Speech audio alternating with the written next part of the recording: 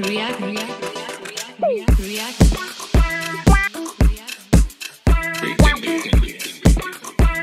React,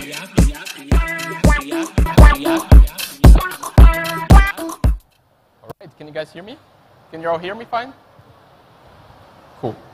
All right, thank you very much, everyone, for joining me today. Um, yeah, I'm here to show you a little bit uh, about dev experience. So I'm going to talk about how to turbocharge your dev experience using Turbo Repo.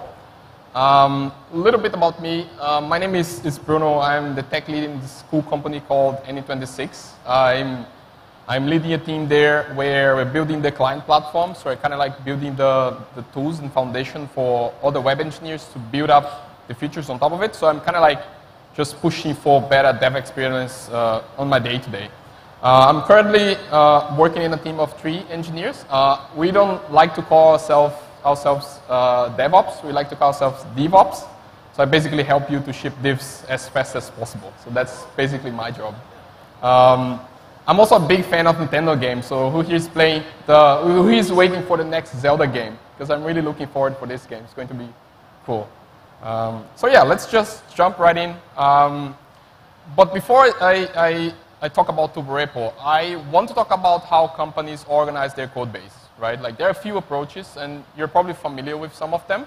Um, and I want to talk about multi-repos and monorepos. So who here has been working with monorepos? Cool, a bunch of hands, that's nice. And how about multiple repos at your company? Nice, okay. So, yeah, so basically, like the most common one in, in large companies, specifically, it's to go through this process of having separate uh, repositories, right? You have your GitHub account, you have several repos there, and then teams work separately. So I just craft this little example here with uh, where, where I have, I'm building like a React India shop, and then there is the web shop, there is the admin uh, app, and then there is the UI. So basically the React component library shared across all, all those apps. Um, and this is a reasonable approach, right? Like teams want to be independent, they want to be autonomous. So they want to choose their stack, they want to um, move fast, and they want to make sure they're not breaking the features from other teams, right? So that's a very reasonable way of organizing uh, your code base. Um, but what if there was another way? So basically, monorepo is the, the way that some companies are adopting now. Uh, and it's just meshing them together in the same repository. Of course, it's just not like a monolith, right? Sometimes people confuse monorepos with monoliths. A monorepo, it's basically a way of structuring your code base, but you can still have microservices there, for example, or micro frontends, for example. You can still have them in a monorepo. The difference is that they're all in the same repository, right? And you might ask yourself, um, yeah, so companies were using multiple repositories because, because they want autonomy, right? They want to be independent. They want their teams to be fully independent. But why monorepos are so hot right now? Why people are speaking about them? Why big companies are using monorepos, right? We see Google, Netflix, Facebook, Twitter are all using monorepos in some shape or form. Uh, Google, for example, created this tool called Bazel, which is open source. It's basically a tool to help you manage monorepos. Facebook and Twitter did the same thing.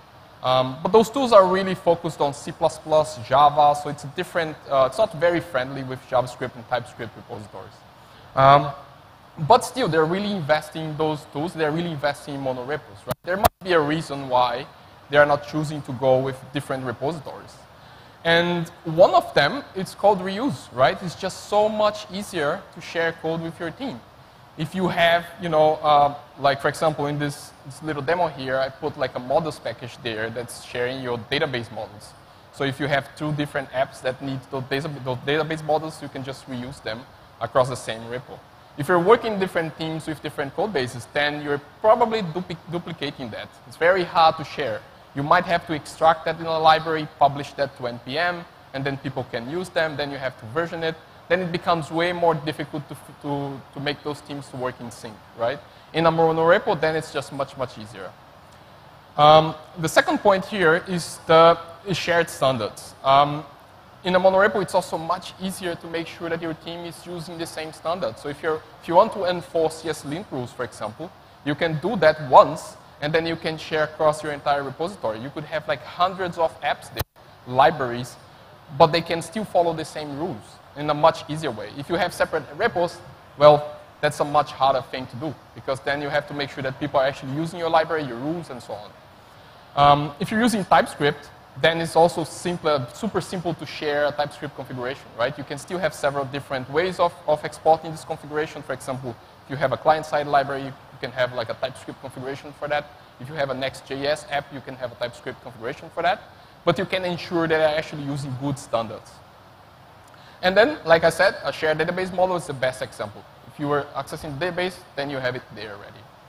Um, another point here that I want to mention, which is like I'm experienced that every day at, at N26, is team collaboration. We work in a monorepo with around 35 engineers, and we have four different apps there, like uh, server-side apps, and we have using React, and we also have a few libraries, like for example, a, a, design system library. We have also all the libraries that we share across the monorepo. Like we have around 20 packages at the moment.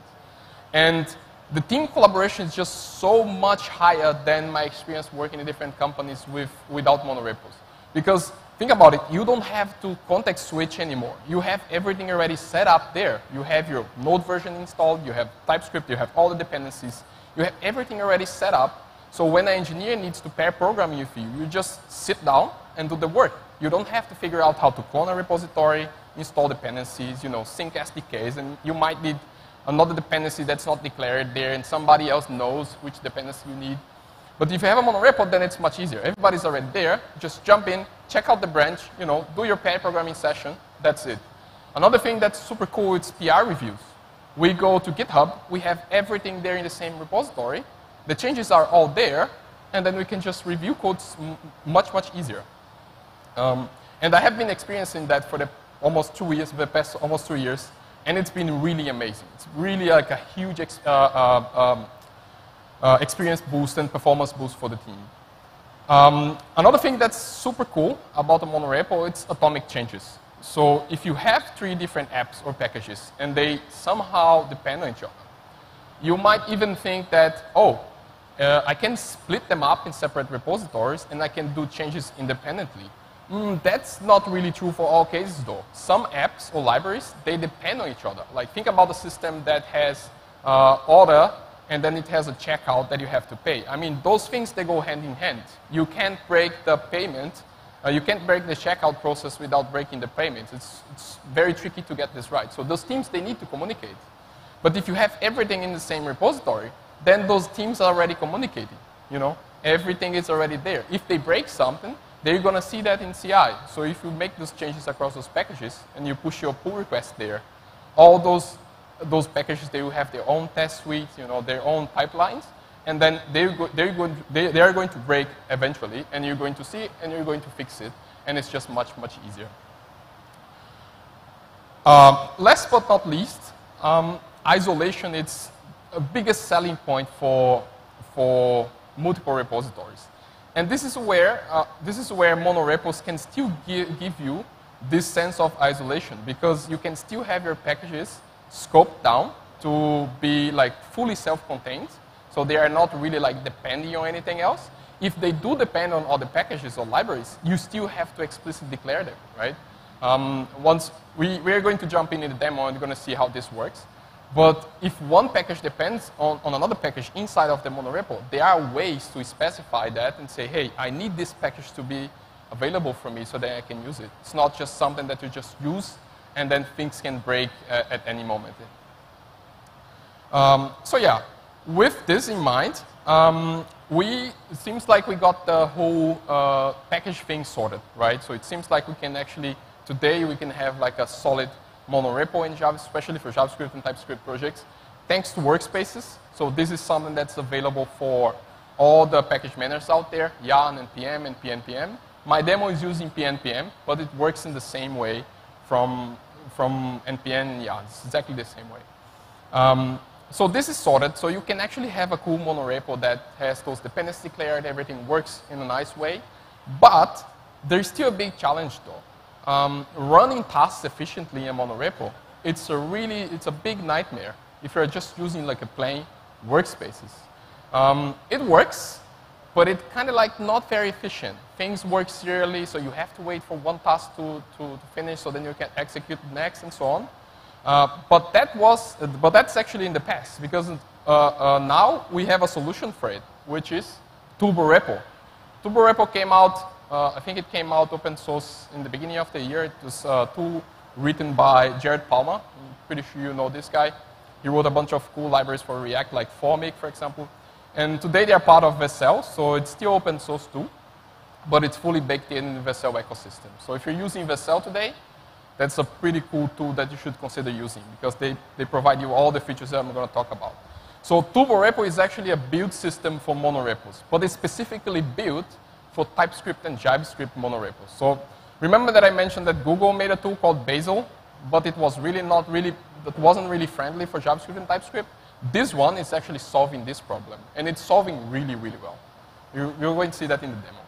So let's talk about the features that TurboRepo can provide you. So the first one is that TurboRepo helps you to never do the same work twice. So if you did a build or a test or a lint task, whatever you did, TurboRepo is going to remember that. And then if you try to do it again for package A, but you changed package B, TurboRepo will say, hey, you have done this task already for package A. You don't have to do it again. Here are the logs of this task. You can just check it again. And that's just milliseconds. That's super fast. But then if you actually change something, then TurboRepo is going to execute this, uh, this task that you told it to execute. You're going to see that in a moment in the demo. Um, another thing that's super cool about TurboRepo, which is something that they really solved pretty well, is optimized scheduling. So if you have, think about it, if you have a, a laptop now, super cool M1 with 100 cores, it's like super fast machines, then you're doing like a, you're running your test suite all written in Jest. And you have like 100 monorepo, um, around the packages in your, your monorepo. And you want to run the tests, and then you have to wait all of them to run after each other, right? But with Turbo Repo, it's super easy to specify these dependencies between pa packages, and then Turbo is gonna just like run all of them in parallel as much as possible, and then it's going to give you the results in a much, much, uh, uh, much, much faster way. Uh, Turbo also figures out the dependency between tasks, and that's also a very big one, uh, which you can kind of like get away already with uh, monorepos without Turbo, but it's just not very efficient. So Turbo can actually figure out, hey, I can actually do these tasks here in parallel. For example, linting is a good one. Usually, when you're using ESLint, you can just do it across your entire code base. They don't really depend on each other because the code can just be linted independently.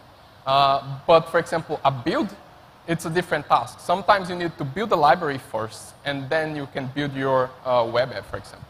There are ways to optimize this, but that would be like the simple way to do it. And then Turbo can also figure out that, and then, hey, I'm going to build the UI library first to make sure that the components are ready, and then I'm going to build the web app now, and then everything's going to work at the end. Uh, another thing that takes caching to the next level is distributed remote, caching. And that's where Turbo really shines. Remember that I said that Turbo doesn't do the same work twice? And that's not only true for your machine, though. That's also true for your colleagues working in the same team, and also true for your CI runners. So if you did a test or a lint or build locally on your code base, your program, and you changed like two packages, you did a test there, Turbo can upload this cache to a remote server that I have implemented one here I'm going to show you. And then once the same task in the same code base is working, it's running in a CI environment like GitHub Actions, Turbo is going to remember that and it's going to fetch from the remote server and it's going to show you the logs. So it's going to save you a lot of time. Uh, imagine that you have a monorepo with 100 packages and then you're changing just one package. You don't want to run tests for 100 packages, right? You just want to run the tests for this package that you change. Uh, but Turbo is smart enough to know that, and then it's going to show, it's going to run the test just for this package, and it's going to show you the logs from the other package. So you still get like an amazing output from your monorepo. And you still know which package actually ran and which package actually just hit the cache. Uh, last but not, uh, not least, uh, Turbo has zero runtime overhead, which means that it really stops at your CI environment and development machine. It doesn't go to your production build. It just helps you to build and do development locally in a very optimized way. But once you build your app and you want to ship to production, Turbo gets out of the way. It's just a dev dependency, and then you're done. So that's, uh, that's really cool because then you don't have to, your packages actually don't even know that Turbo exists. Like there's zero dependency between your packages and Turbo. You're going to see that in a moment. Uh, cool. So enough talking, right? So let's go for a little live demo. Um, here I have prepared like a little demo uh, project. You can scan. You can also access this link. You don't have to follow along. You don't have to clone anything locally. You're going to do it right now. But it's cool if you want to get a little reference from a monorepo. Um, it's a small repository, but it's good enough to show you how Turbo works. So let's just, just jump right in.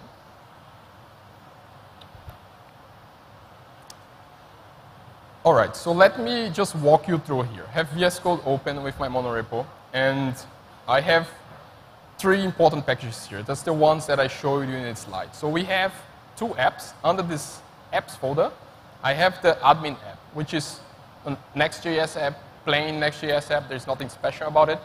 Uh, and this app is just meant for you know managing orders, refunding orders, seeing customers, and so on.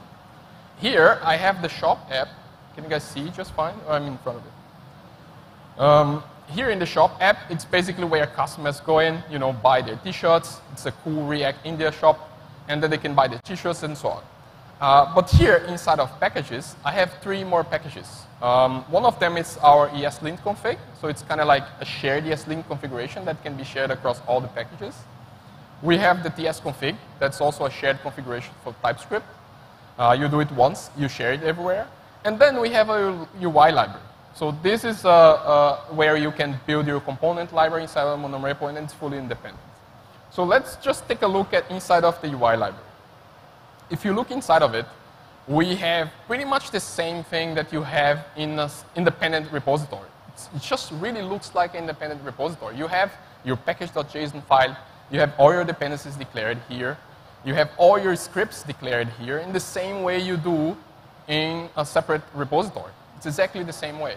The only difference is that you, if you're depend, depending on, on uh, packages inside of the monorepo, there is a cool way to declare this dependency I'm going to show you. Um, and here, uh, at the top level of our repository, we have another package.json file. If you don't work with uh, monorepos, don't worry about it. This is simple, straightforward. You can, you can try it out later.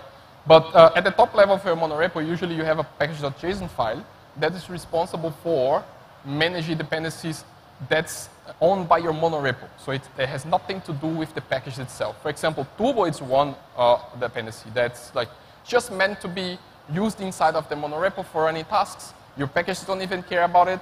And then, you know, once you're done, Turbo gets out of the way. So that's, uh, that's the job of the main package.json file. And inside here, I have a dev command, just like you probably do with Next.js or your React apps. I'm going to explain how this command works, but let's just try it out. Let me open my terminal here. And then I'm going to do a pnpm dev. By the way, I'm using pnpm, but it works in the same way as npm or yarn. It's not very different. You can have the commands in the same way. And then I'm going to do a dev command here. I'm already leveraging Turbo for doing local development. Uh, why this is important? Because I'm doing development across two different apps, right, that I mentioned to you, and then the component library. And I want all of them to react to my changes. And Turbo is just running the development server for all of them at once in one single terminal session. If you didn't have that, you probably had to open like several terminal sessions, you know, do a dev command inside of your packages, and that would be a hassle. Or you could also optimize that in different ways using one terminal shell, but it's still, it's still a little bit tricky. So let's see how this looks in, um, in our browser. So I have here the React India Shop, very simple Next.js app. It doesn't do anything, just try to add stuff to the basket. Not very special, just a mock app. And then here I have my admin app, which is also like a fully independent app, right? Uh, if you notice something, they're sharing like little button, right? This button looks not so fancy. Don't judge me about my CSS skills, sorry. Um, but they're the same. So they're coming from this uh, UI component library that I showed you guys before. So let's just, just come here to our UI library and let's change something there and see how this works. So I'm going to src. I'm opening the button. There's just one single component. That's I think that's the smallest, the smallest component library out there. And there's a very fancy CSS here. So I'm gonna I'm gonna show the I'm gonna change the color, background color of the button to purple. And let's see in our app. You see, it's already, oh, sorry. It's already showing you uh, uh, the diff, right? So it's it's working. I'm changing stuff in a separate package that's completely independent from, from my Next.js apps, but this is working just fine, the same way you're doing your own single repository. Imagine that you had uh, this component library in a different repository. How, how much difficult this would be to do this, right? You'd have to try out in a different playground and then publish the library. Your Next.js app would need to update it and then get this new uh, version of the library. And maybe there's a bug there, and then you need to release a patch and so on. That would be a nightmare. So this is one thing that Turbo helps you with local development in a super easy way. Uh, and how does this work? Let's check the package.json file again. Um, I have the dev command here, and it uses this special keyword called turbo, right? So that's how uh, you use turbo repo. It's just a dev dependency. I'm declaring it here. I'm using the latest version. Uh, but turbo is, is, is using this command run with the dev key here. Basically, turbo, what, what you're telling to turbo is like, hey, look at all my packages inside of the monorepo. Check if there is a dev script there if there is a dev script there, run this command. Turbo doesn't even know that it's a dev command. It just knows that's a dev key, you know. If it's firing up a dev server, fine. If it's doing a build, it could also do a build. It doesn't matter for Turbo. And then it just spins up this dev command in those packages.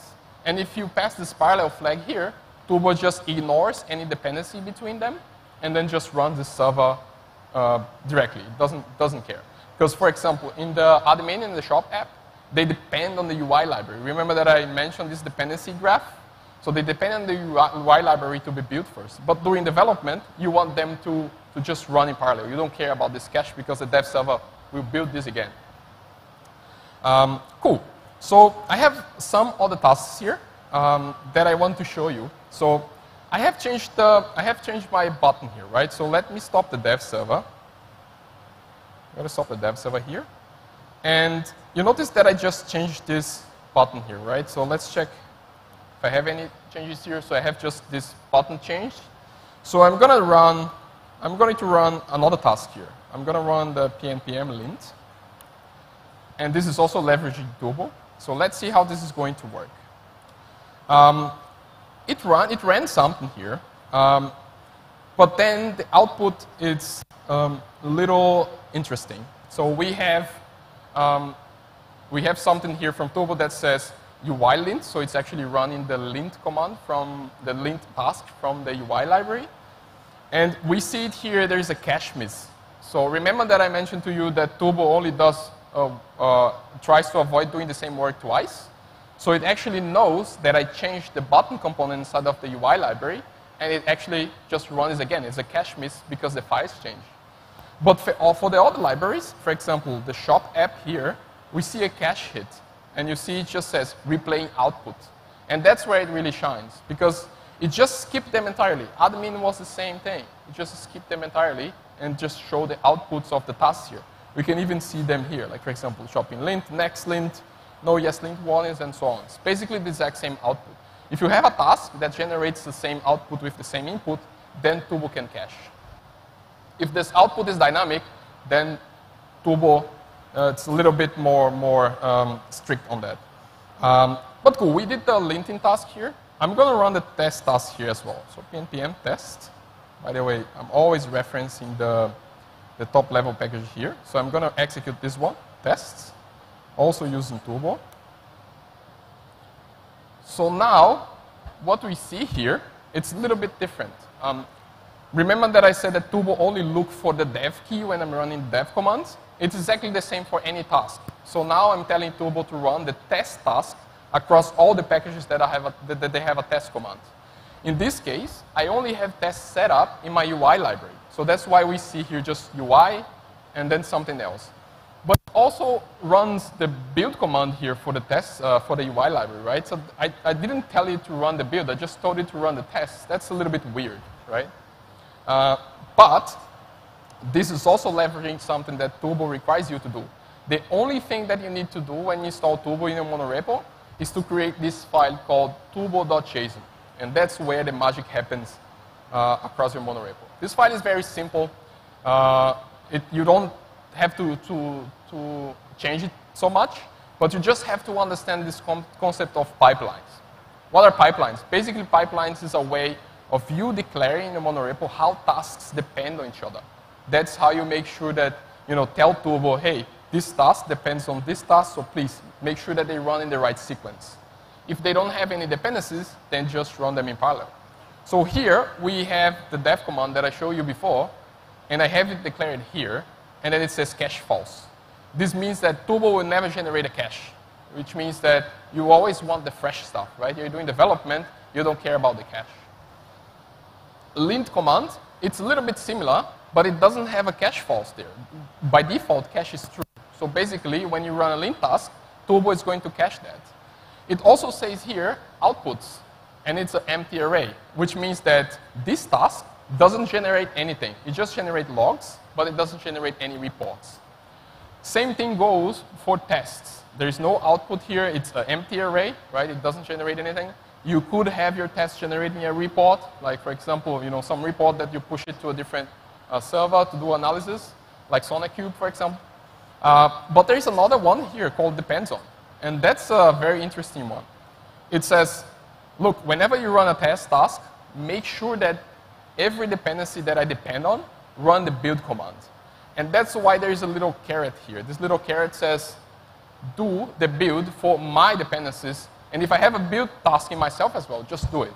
And if we look at the, if we look at the package.json file inside of our library, we'll see that we do have a build command, and we do have a test command here, right? So that's how Turbo knew that it should run the build command first. Cool, so let's run another task here. For example, oh, where's my tab? Okay. Okay, sorry about that. So let's run pnpm. Did I run the test? I did already, right? I did run my test again now, and I got a very fast output. And why is that? I mean, Turbo did this task already, right? So now we see here at the end that two tasks were executed success successfully, and then two, two, two of them were cached. And it's a full turbo. Whenever you see a full turbo, you should be super happy. Because basically, you didn't waste any CPU cycles. The turbo, turbo repo just fetched all the caches, and then just replayed the logs for you. Cool. Let's try to do the, let's try to do the lint task here. Full turbo again, right? I have done this already in the past. I've shown you. Turbo is just caching. And now I'm going to do one thing. I'm going to remove those caches from my local machine. And Turbo caches it at the uh, node modules.cache folder. I'm going to remove this folder. And now I'm going to run the lint again. Let's see what's going to happen. Let's see if the internet helps me. We should be able to see full turbo. It's, it's taking forever. Yeah, this is wrong.